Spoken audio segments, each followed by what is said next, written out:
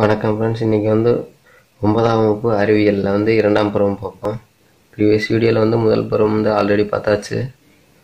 அதை நீங்கள் என்ன பார்க்கலன்னா ப்ளேலிஸ்ட்டில் வந்து கொடுக்குறேன். அதை போய் பார்த்துட்டு வந்துடுங்க ஓகே.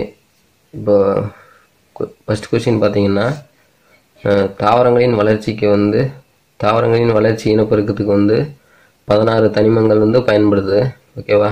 பதினாறு தனிமங்கள் வந்து தாவரங்களோட வளர்ச்சி இனப்பெருக்கிறதுக்கு பயன்படுது. ஓகேவா அடுத்து ரெண்டாவது கொஸ்டின் நைட்ரஜன் குறைபாட்டால் வந்து தாவரங்களுக்கு ஏற்படுற நோய் என்னென்னு பார்த்துக்கிட்டிங்கன்னா குளோராசில் குளோராசில் நைட்ரஜன் குறைபாட்டால் வந்து ஏற்படுற தாவர நோய் என்னென்னு பார்த்துக்கிட்டிங்கன்னா குளோராசில் அடுத்து மூணாவது கொஸ்டின் பாருங்கள் சூரிய ஆற்றல் சூரிய ஆற்றலை வந்து வேதி ஆற்றலாக மாற்ற வந்து எது பயன்படுதுன்னா பாஸ்பரஸ் பயன்படுது. ஓகேவா பாஸ்பரஸ் சூரிய ஆற்றலாக வேதி ஆற்றலாக மாற்ற பாஸ்பரஸ் பயன்படுது அடுத்து நாலாவது கொஸ்டின் பாருங்கள்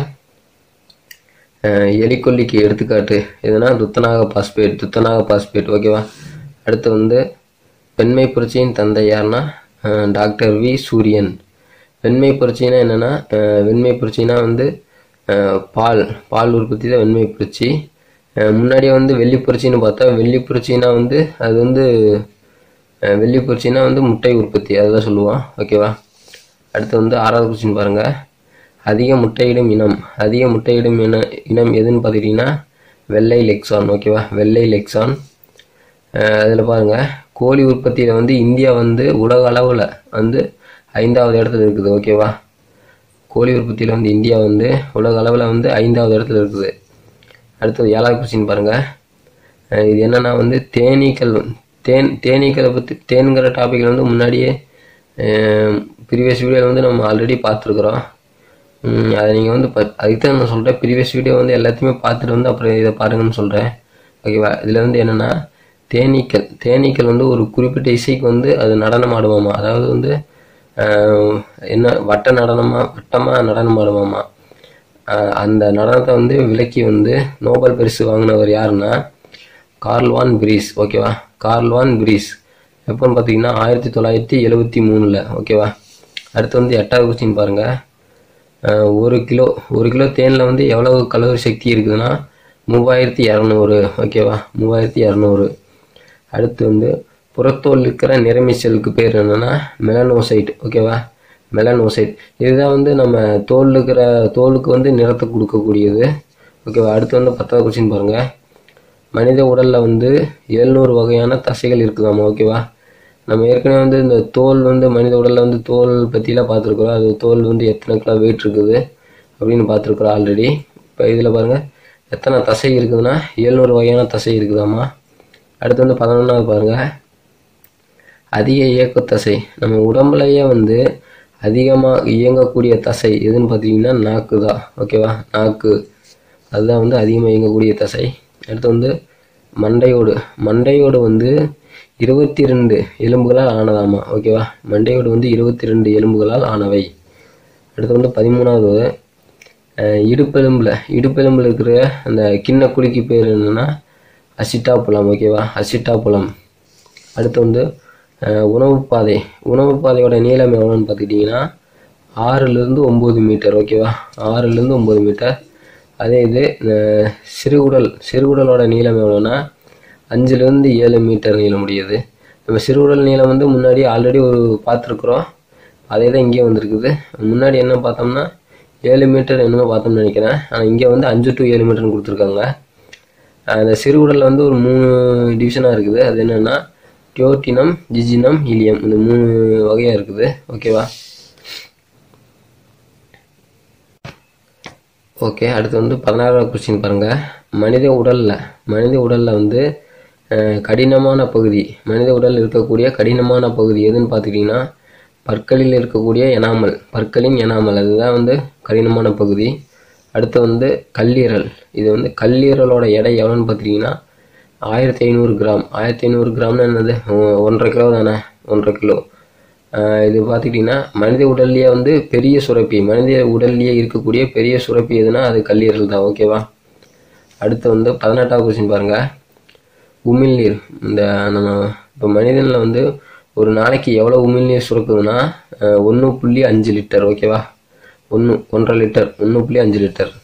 அடுத்து வந்து பத்தொன்பதாவது கொஸ்டின் பாருங்கள் இப்போ வந்து இப்போ இந்த ரத்தங்கிற டாப்பிக்கில் எடுத்துக்கிட்டிங்கன்னா ரத்தம் ரத்தம் அந்த இதயம் இந்த கொ- இந்த டா ரெண்டு டாபிக் கண்டிப்பாக ஒரு கொஸ்டின் கொஸ்டினில் கேட்டுருவாங்க எக்ஸாம் போனீங்கன்னா நீங்கள் கொஸ்டின் பேப்பர் வாங்கி பார்த்தீங்கன்னா தெரியும் இந்த டாப்பிக்லேருந்து ரத்தங்கிற டாப்பிக்லேருந்து ஒரு கொஸ்டின் கண்டிப்பாக வந்துடும் அதனால் வந்து ரத்தங்கிற டாபிக் வந்து நல்லா படிச்சு வச்சுக்கோங்க.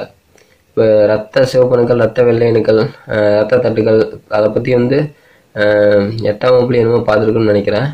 இப்போ அதை அதை தொடர்ந்து வந்து அதில் கொடுக்காத விஷயத்தை நான் வந்து இங்கே கொடுத்துருக்குறேன். ரத்த வெள்ளையணுக்கள் வந்து ஆயுள் காலம் என்னன்னு பார்த்தீங்கன்னா நாலு வாரம். இதே ரத்த சிவப்பணுக்கள் ரத்த தட்டுகள் அதோட ஆயுள் காலம்ல ப்ரீவியஸ் வீடியோ வந்து பார்த்தாச்சு. இங்கே வந்து ப்ரீவியஸ் வீடியோ வந்து இது கொடுக்காம இருந்துச்சு. இது வந்து ஒன்பதாம் வகுப்புல தான் மட்டும்தான் இருந்தது. அதனால் வந்து இதில் கொடுத்துருக்குற பார்த்துக்கோங்க. ரத்த வெள்ளையணுக்களோட ஆயுள் காலம் நாலு வாரம் ஓகேவா? அடுத்து வந்து நுரையீரல். நுரையீரலில் இருக்கக்கூடிய அந்த உரைக்கு பேர் என்னென்னா ப்ளூரா ஓகேவா? ப்ளூரா. அடுத்து வந்து விந்து செல்லை வந்து கண்டுபிடிச்சது யாருன்னா ஆண்டன் வான் லூவன்காக். இவரை பற்றி வந்து இவரை பற்றி பார்க்காத வகுப்பே கிடையாதுன்னு நான் நினைக்கிறேன். ஆண்டன் வான் லூவன்காக்கை பற்றி திரும்ப திரும்ப வந்துக்கிட்டே இருக்குது ஓகேவா நல்லா பார்த்துக்குங்க. விந்து செல் கண்டுபிடிச்சது ஆண்டன் வான் லூவன்காக். அடுத்து வந்து ஒளியின் திசைவேகம். ஒளியின் திசைவேகம் என்னன்னா மூணு இன்ட்டு பத்தினடுக்கு எட்டு மீட்டர் பை வினாடி ஓகேவா அதாவது எவ்வளோன்னா மூணு லட்சம் மூணு லட்சம் மீட்டர் பை செகண்ட் ஓகேவா மூணு லட்சம் கிலோமீட்டர் மூணு லட்சம் கிலோமீட்டர்னு வரும். இல்லைன்னா மூணு இன்ட்டு பத்து பத்தினடுக்கு எட்டு மீட்டர் பை செகண்ட் இப்படின்னு சொல்லலாம். ஓகே ஒளியின் திசை. இது வந்து ஒளியின் திசைவேகம். இது இந்த ஒளி என்னென்னா லைட்டு அந்த சொல்லுவோம்ல லைட்டு அந்த லைட்டு தான் கீழே இருக்கிற ஒளியின் திசைவேகம் என்னென்னா சவுண்டு அந்த ஒளி. இந்த இந்த சவுண்டோட திசைவேகம் எவ்வளோன்னு பார்த்தீங்கன்னா இந்த மேலே இருக்கிறதுக்கு கீழே இருக்கிறதுனால டிஃப்ரென்ஸ் டிஃப்ரென்ஸ் பார்த்துக்குங்க.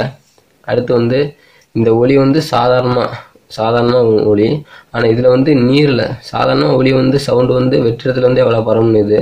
அதே இது இது வந்து நீரில் வந்து எவ்வளோ பரவும்னு கொடுத்துருவாங்க நீரில் வந்து ஒளியின் திசைவேகம் எவ்வளோ இருக்கும்னா செகண்ட் ஓகேவா அதாவது வந்து என்னென்ன ஒளி சாதாரண வெற்றிடத்தை விட நீரில் தான் வந்து சவுண்டு வந்து வேகமாக பரவுமாமா ஓகேவா அடுத்து வந்து இருபத்தஞ்சாவது கொஸ்டின் பாருங்கள் ரேடியோ அலை ரேடியோ அலை அப்படிங்கிற ஒன்று இருக்கிறது இருக்குதுங்கிறத ஆய்வு பண்ணி கண்டுபிடிச்சது யாருன்னா ஹெட்ஸ் ஓகேவா ஹெட்ஸ் இவர் வந்து ஜெர்மன் நாட்டுக்கார். இப்போ வந்து நம்ம அதிர்வெண் அளவு ஹெட்ஸ்னு சொல்லுவோம்ல அது வந்து இவர் பேர் தான் அங்கே வச்சுருக்காங்க அதிர்வெண் அளவு. அதாவது ரேடியோ அலை கண்டுபிடிச்சது யாருன்னா ஹெட்ஸ் ஓகேவா இவர் ஜெர்மன் நாட்டுக்காரர். அடுத்து வந்து இருபத்தி ஆறாவது பாருங்கள் இப்போ வந்து குழ குழந்தை வந்து கருவாக இருக்கும்ல கருவாக இருக்கிறப்ப வந்து அந்த சிசு படத்தை வந்து பார்க்குறதுக்கு வந்து காட்சிப்படுத்த எது பயன்படுதுன்னா மீயொலி வரி கண்ணோட்டம் தான் பயன்படுது. இப்போ வந்து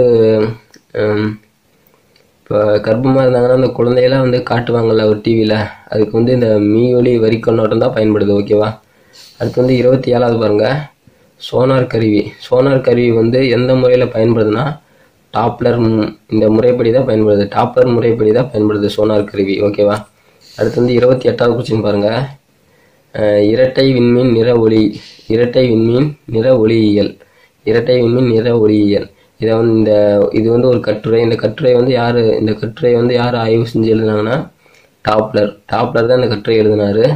இந்த டாப்லருங்கிறது வந்து ஆஸ்திரிய நாட்டுக்காரர் ஓகேவா? இரட்டை விண்மீன் நிற ஒளியியல் வந்து எழுதுனது யாருன்னா டாப்லர் அடுத்து வந்து ஒளி வந்து வெற்றிடத்தில் பரவாது. ஒளி வந்து இந்த ஒளி வந்து சவுண்டு இந்த சவுண்டு வந்து வெற்றிடத்தில் வந்து பரவாதுன்னு கூறியவர் யாருன்னா ராபர்ட் பாயில். ஓகேவா ராபர்ட் பாயில். அதே முப்பதாவது கொஸ்டின் பாருங்கள் அதே இது வெற்றிடத்தில் வந்து பரவக்கூடிய ஒளி என்ன ஒளினா ரேடியோ அலை. சரி வெற்றிடத்தில் பரவக்கூடிய அலை எதுனா ரேடியோ அலை. ரேடியோ அலை தான் வெற்றிடத்தில் பரவும். அடுத்து வந்து கடைசி கொஸ்டின் பாருங்கள் முப்பது முப்பத்தி ஒன்றாவது காற்று. இந்த காற்றில் பரவக்கூடிய ஒளி அலை. காற்றில் பரவக்கூடிய ஒளியலைக்கு பேர் தான் நெட்டலைங்கிற பேர். இப்போ கா இப்போ காற்றுல வந்து ஒளியலை ஒளி பரவுச்சுன்னா அந்த அலை என்னவா இருக்குன்னா நெட்டலையாக இருக்குது ஓகேவா அவ்வளோதான் ஓகே ஃப்ரெண்ட்ஸ் ஓகே இப்போ வந்து ஒன்பதாம் வகுப்பு அறிவியல். இரண்டாம் பருவம் வந்து மொத்தம் வந்து இப்போ ஒரு முப்பத்தி ஒரு கொஸ்டின் பார்த்தோம். அவ்வளோதான் இரண்டாம் பருவம் வந்து கம்ப்ளீட் பண்ணியாச்சு. இப்போ நெக்ஸ்ட் வீடியோ வந்து மூன்றாம் பருவம் பார்ப்போம். ஓகே நம்ம சேனல் வந்து என்ன சப்ஸ்கிரைப் பண்ண பார்த்தீங்கன்னா மறக்காமல் சப்ஸ்கிரைப் பண்ணிக்கோங்க. அப்புறம் இதை பற்றி சம் ஏதாவது சந்தேகங்கள் இருந்தால் வந்து கீழே வந்து கமெண்ட் பண்ணுங்கள் ஓகேவா ஓகே தேங்க்யூ